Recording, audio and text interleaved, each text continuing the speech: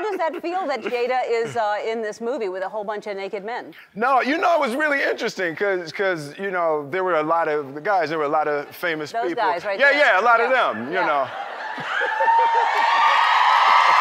yeah. Yeah, so every like everywhere I go, I you know, there's someone who's been in their underwear with my wife, you Uh-huh. know.